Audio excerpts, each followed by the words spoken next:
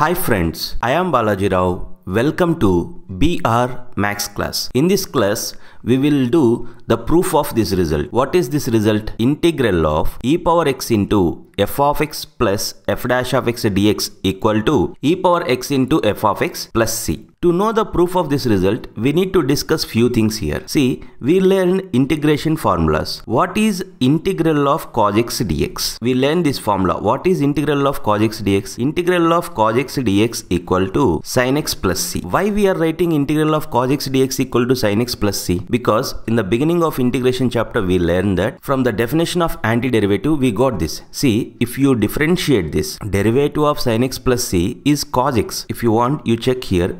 Of sin x plus c is derivative of sin x plus derivative of c. Here c is constant. Derivative of sin x is cos x plus derivative of constant is 0 cos x plus 0 is cos x. If you differentiate sin x plus c, you are getting cos x. Because of that reason, we are saying that integral of cos x dx is sin x plus c. Similarly, you see one more formula integral of secant square x dx. This formula also we learn in integration. Integral of secant square x dx is what? Integral of secant square x dx is tan x plus c. Why we got this formula? Because derivative of tan x plus c is secant square x. If you want, you can check here. Derivative of tan x plus c. How we differentiate this? Derivative of tan x plus derivative of constant. Derivative of tan x is secant square x plus derivative of constant is 0. Secant square x plus 0 is secant square x. That's why we say integral of secant square x dx is tan x plus c. Here, to prove this result, I'll use the definition of antiderivative. What I'll do, I'll differentiate this part. You observe here, e power x into f of x plus c. After differentiation, if I got that e power x into f of x plus f dash of x, then I can write that integral of e power x into f of x plus f dash of x dx equal to e power x into f of x plus c. Now, you differentiate this expression e power x into f of x plus c. Derivative of e power x into f of x plus c. How we differentiate this? Derivative of this expression plus derivative of constant. Okay. d by dx of e power x into f of x plus d by dx of constant.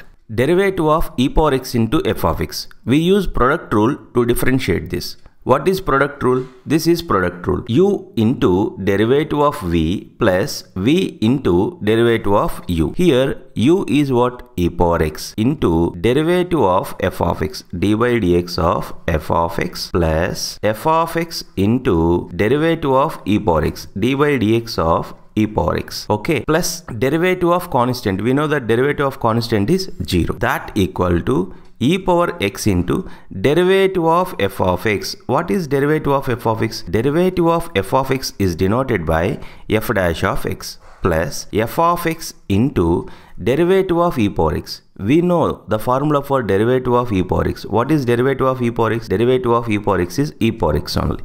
Now here you can observe here I can take e power x common you take e power x common. If you take e power x common, here what is remaining here? Here f of x is remaining. Okay. Here what is remaining if you take e power x common? f dash of x is remaining. So what you came to know here, derivative of e power x into f of x plus c equal to e power x into f of x plus f dash of x. So you observe here derivative of this expression is e power x into f of x plus f dash of x. From this what we can write? From this we can write that therefore integral of e power x into f of x plus f dash of x dx equal to e power x into f of x plus c. This we did by using the definition of antiderivative. Antiderivative is also known as integral.